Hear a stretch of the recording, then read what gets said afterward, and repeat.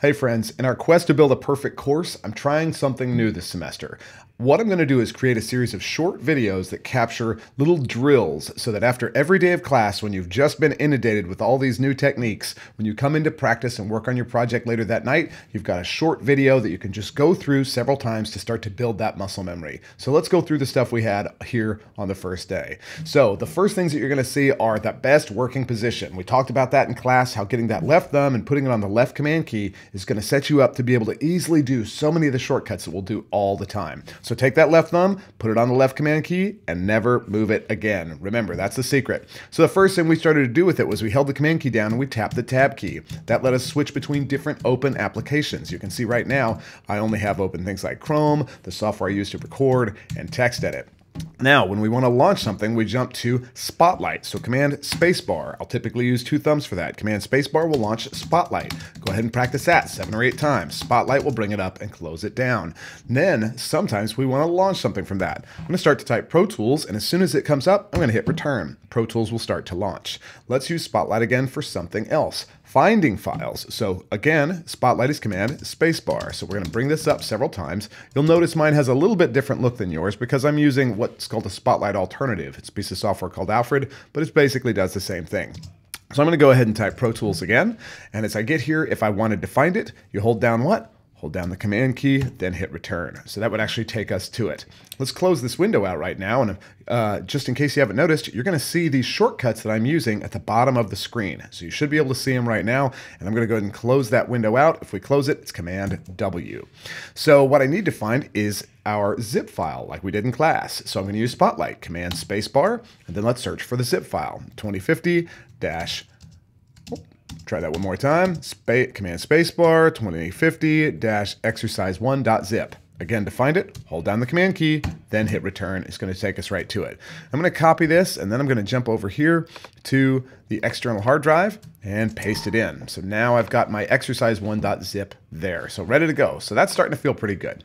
So we've got Spotlight. Now for determining the active application, we looked in the upper left-hand corner. So right now, Text Edit is the active application. If I were to Command Tab over to Pro Tools, Pro Tools is the active application. Okay, so we're starting to get that figured out. Determining the active application, right now we see it's Pro Tools. If I were to switch over to something like Chrome, we see that now it's Chrome, even though there's no Chrome windows on the screen. Moving past that, if we jump over to our Finder, where we had this file available, I'm going to put it over here on the side of my screen. I'm using a little piece of software to do that. Uh, but the file menu, we've already looked. We examined these shortcuts and modifiers, Command N, Shift Command N, uh, Control Command N, and then we found the shortcut right here for um, Option Command. So we can see that that's actually an optional symbol as well. So I zoom in on that. All right, so we've started to look at those shortcuts and modifiers. We also looked briefly at the difference between icon view detail view, which is, allows us to sort things by name, by date modified, and by size, and column view, which is useful as well. We really just don't use icon view. Back over here to our little uh, shortcut, I'm going to go ahead and let's open the zip file. Open would of course be Command O, right. Typically when you hear me stress the first letter of a word, it's going to be command and that letter. So command O is going to open this zip file. So we've opened that file as well. So we most of us know how to go ahead and navigate in here, but I just want to show you again that this is what includes uh, both the exercise file and the audio files. So the audio files here in an audio files folder right next to it. So that's uh, what it takes to make a whole Pro Tools session. In your Lynda videos, you learned about the Wave Cache file, uh, the fact that Pro Tools should, or it has an option to turn on automatic backup, so it makes copies of your file in here, and we've got a little mix template that we'll be using later in this project at the very end um, to be able to work with that. So all of those things make up a Pro Tools file, a Pro Tools session, and the audio files, and they both have to be inside a folder.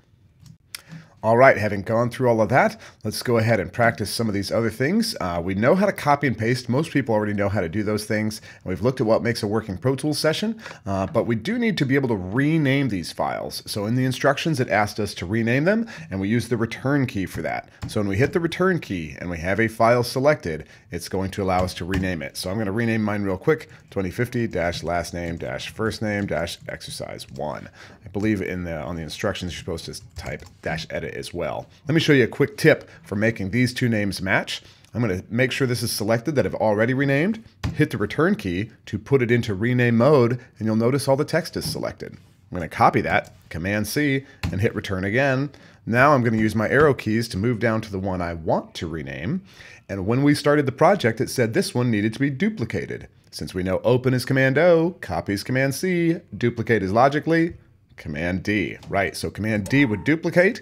Now I have a safety copy of my exercise file, and then I can take that one. I'm just going to hit return again and paste. Paste is Command V, right, not Command P. So now I have both my session and my folder named the same thing, and I'll always be able to find them on a hard drive. I tend to stick these little uh, backup exercise files, kind of my, my safety copy. I'm going to put those in the session file backups folder. That way I never have more than one that looks like this something I need to be loading. So let's go ahead and open that up. Open, of course, would be Command Oh, you got it. So it's going to open up here in Pro Tools, and we have the session as we started out last time in class.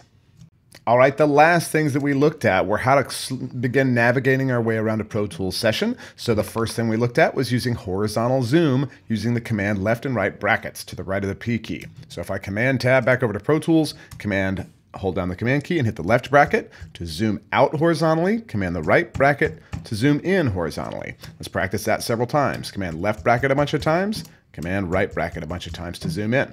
Now it's always going to zoom to wherever this playhead is. So if I want to go to this word, I can select here and zoom in on it. If I want to zoom back out and go to a different part, I can click over here and zoom in, zoom out.